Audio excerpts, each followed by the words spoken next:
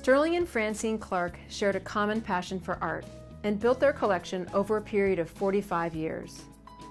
In 1953, they decided to establish a museum to house their collection and selected Williamstown as the future home of the Sterling and Francine Clark Art Institute.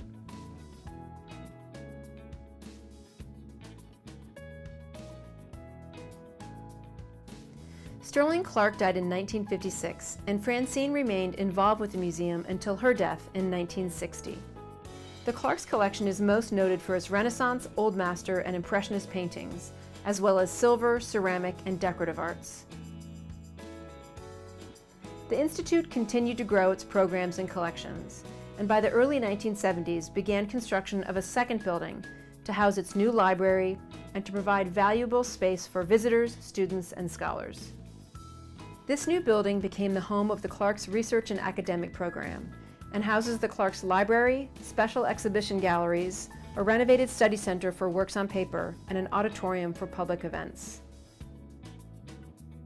In the years that followed, the Clark's programming continued to expand and featured a number of critically acclaimed exhibitions.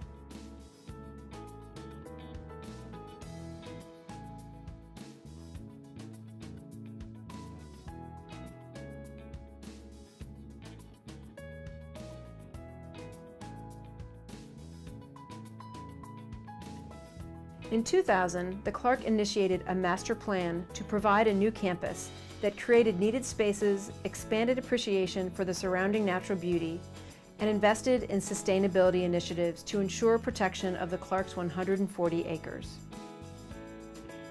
In 2006, Phase 1 of the campus expansion program began with the construction of the Stonehill Center, now called the Lunder Center at Stonehill, housing contemporary galleries, a community conference room, and the laboratories and offices of the Williamstown Art Conservation Center.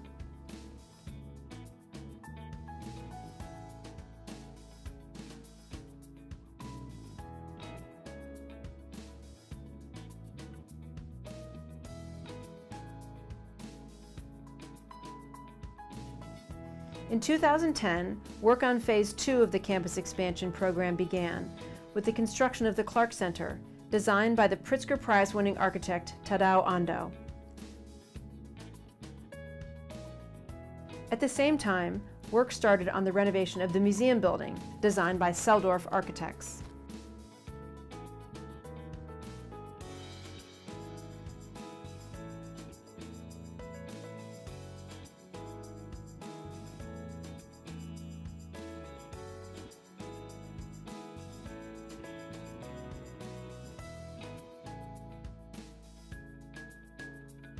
On July 4, 2014, the Clark opened its new campus.